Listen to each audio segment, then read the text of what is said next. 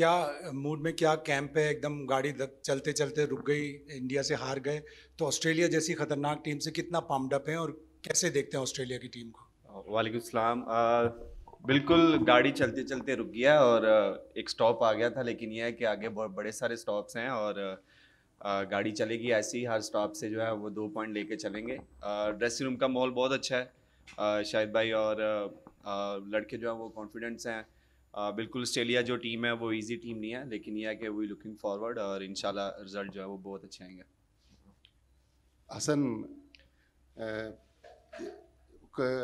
आप इसको माने या ना माने, लेकिन इंडिया के ख़िलाफ़ मैच में जो हुआ तो मतलब एक पाकिस्तान टीम का जो कैलिबर था, उससे तो बहुत नीचे परफॉर्मेंस थी।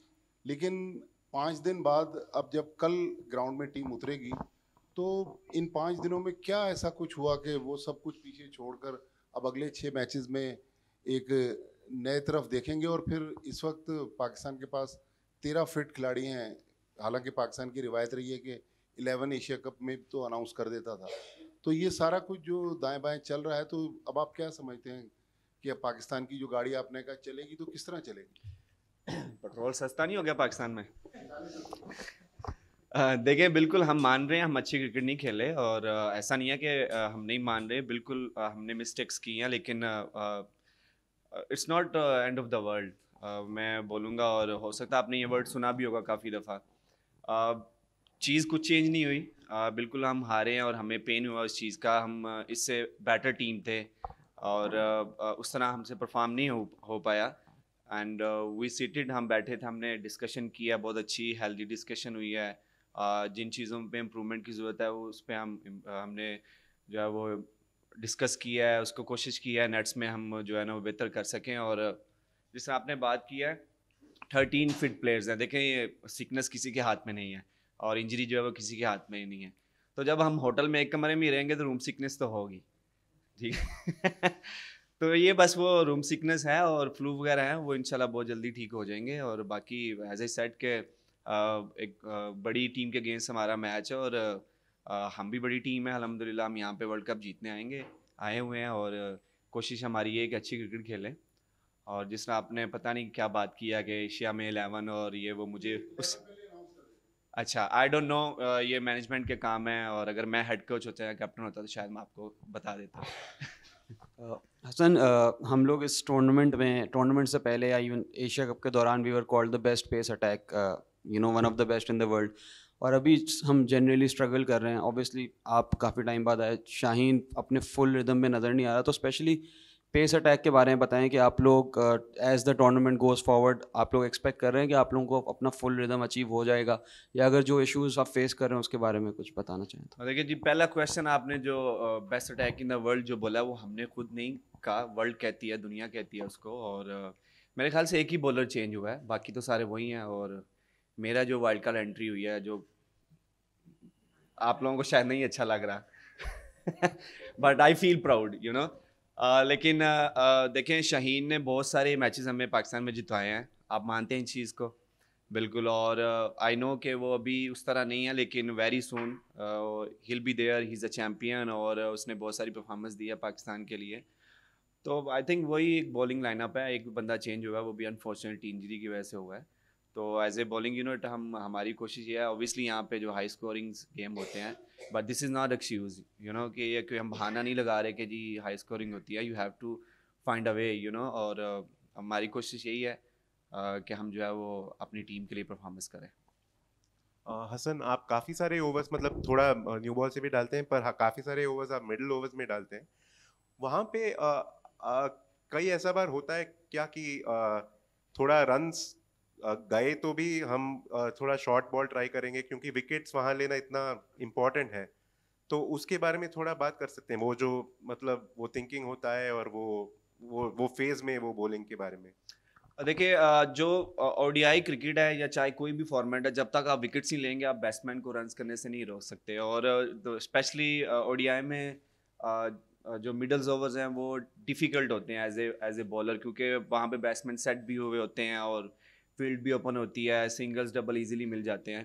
तो जो भी स्किल होती है as a bowler I would say कि जो भी मेरे मेरे पास स्किल है, वो चाहे मेरा इन स्विंग है आउट स्विंग है यॉर्कर है स्लो वन है बाउंस रहा है whatever I I got in the skill तो कोशिश होती है कि उसको यूज़ करें और जब आप मिडल्स में विकेट्स लेते हैं, अभी सो फार तो मिडल्स में विकेट्स आ रही हैं, अब कोई भी गेम उठा के देख लें ऊपर से रन बनते हैं, लेकिन सडनली जो है वो बैटिंग लाइनअप जो क्लैप्स होती है तो रन एकदम से रुक जाते हैं। अभी तक वर्ल्ड कप में यही देखा गया है। तो उन्हीं स्किल्स को यूज़ करके जो है वो आपको विकेट्स लेनी पड़ती है और वही हम जो है वो कर रहे हैं। और स्पेशली मुझे जो रोल एक दिया गया है कि न्यू बॉल और स्पेशली इन द मिडल क्योंकि मेरे अगर आप देखा जाए तो मैंने मिडल्स में काफ़ी विकेट्स लिए हुए हैं। तो मैं उसी रोल को जो है वो लेके चल रहा हूँ। हसन पाकिस्तानी फैंस की कमी आपको महसूस हो रही है? अहमदाबाद में तो डेफिनेटली हुई होगी, हो रही है। और दूसरी बात कि पाकिस्तान का रन रेट जो है वो खासा मतलब नीचे हो तो हाँ है तो हम फोर्थ नंबर पर, लेकिन रन रेट है, हमें जीत के साथ साथ अपने रन रेट को भी बेहतर करना होगा। फैंस अब बढ़ गए हैं जब से आप लोग आए हैं, माशाल्लाह, आपको वीज़े मिले हैं तो हमारे फैंस जो हैं, वो पहले फोर्टी थे forty three five six seven हो गए हैं। तो देखिए, बिल्कुल फैंस को मिस कर रहे हैं हम, और देखिए, ये हमारे हाथ में नहीं है कि फैंस यहाँ पे हैं कि नहीं है। हमारा एज ए प्रोफेशनल यहाँ पे क्रिकेट पे फोकस होना चाहिए, वही हम कर रहे हैं।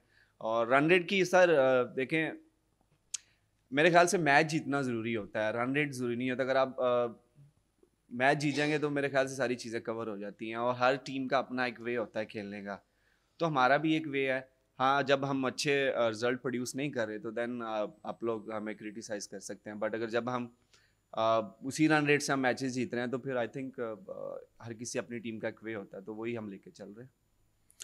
हसन अब ज़रे आपने कहा मैं कोच और कप्तान तो नहीं हूँ कि प्लेइंग एलेवन बताऊँ लेकिन ये तो आप बता सकते हैं कि पाकिस्तान के जो पंद्रह प्लेयर हैं उनमें से अब तो किसी की तबीयत का इशू नहीं है। एक तो ये कि सारे दस्तियाब हैं और दूसरा आप अपने ससुराली मुल्क क्रिकेट खेलने आए हुए हैं तो कितना इन्जॉय कर रहे हैं? खातिरदारी और मेहमान नवाजी कैसी हो रही है स्पेशली आपकी? सॉरी हमारे आई थिंक सारे रिकवर हो, हो गए हैं। मोहम्मद हारिस थे वो ट्रैवल रिज़र्व में थे वो भी आज ग्राउंड में आए हैं। तो सारे जो जितने भी प्लेयर्स हैं वो, अवेलेबल हैं। आई थिंक एक फ़ख्र नहीं है उनकी थोड़ा नी का वो चल रहा है। बाकी फोर्टीन प्लेयर्स जो है अवेलेबल हैं और बाकी एज आई सेड के मैं कैप्टन और वो तो नहीं हूँ जो आपको बता दूँ। और रही हॉस्पिटैलिटी की बात तो हॉस्पिटैलिटी बहुत अच्छे तरीके से कर रहे हैं जी। मुझ पर ज़्यादा एक्स्ट्रा प्रेशर भी है। तो नहीं बहुत मज़ा आ रहा है यहाँ पे। हॉस्पिटैलिटी में कोई कमी नहीं है। और बड़े अच्छे तरीके से हमारा ख्याल रख रहे हैं। या एक चीज़ है कि हम लोग बाहर नहीं जा सकते अगर जाना होता तो सिक्योरिटी के साथ एक टीम पूरी जाती है।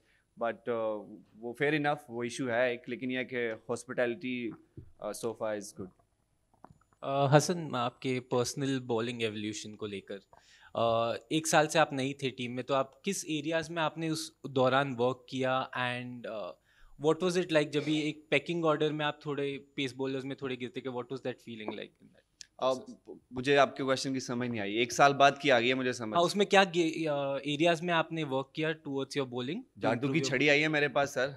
हाँ, हाँ, हाँ। ये तो मुझे पता है कि यहाँ से क्वेश्चन आया होगा क्योंकि आप इनके अच्छे दोस्त हैं। देखिए बिल्कुल आ, मैं एक साल से टीम से बाहर था और मैंने कुछ चेंज नहीं किया और कुछ ऐसी कोई चीज़ नहीं लेके आया जो बस अपनी बेसिक्स पे काम किया और फोकस किया कि जहाँ पे भी क्रिकेट मिले उसको उस पर परफॉर्म करूँ और जो भी अपॉर्चुनिटी मिले उसको ग्रैब करूँ। तो वही चीज़ थी और मुझे अपॉर्चुनिटी मिली है और मेरी पूरी कोशिश है कि जो एक साल मैंने मेहनत की है, जो टीम से बाहर था और जो मेरा जो एक्सपीरियंस है उसको यहाँ पे शो करूँ मेगा इवेंट में क्योंकि पूरी दुनिया इस इवेंट को देखती है, हर चार साल के बाद होता है। तो अपनी I was working on my basic that's it nothing special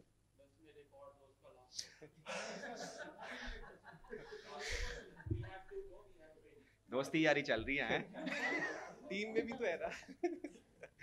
अच्छा हसन क्वेश्चन आपसे था कि पाकिस्तान का ऑस्ट्रेलिया से मैच है उनकी जो बैटिंग लाइनअप है काफ़ी मज़बूत है। स्टीव स्मिथ ऐसे प्लेयर हैं जो टॉप फोर में ही रहते हैं हमेशा। तो किस तरह से उनके खिलाफ प्लानिंग आप लोग कर रहे हैं? और बॉलिंग की जहाँ तक बात करें तो रन्स काफ़ी मिडिल में हम लोग लीक भी कर रहे थे। इंडिया के खिलाफ भी मैच जल्दी ख़त्म हो गया। हालाँकि 200 प्लस स्कोर था लेकिन जल्दी ख़त्म हो गया। लाइन पे गेंद नहीं हो रहे थे। ये विकेट भी बैटिंग फ्रेंडली लग रही है तो कितना दबाव होगा बॉलर्स पर? हाँ बैटिंग ट्रैक है हम नहीं खेल रहे भाई।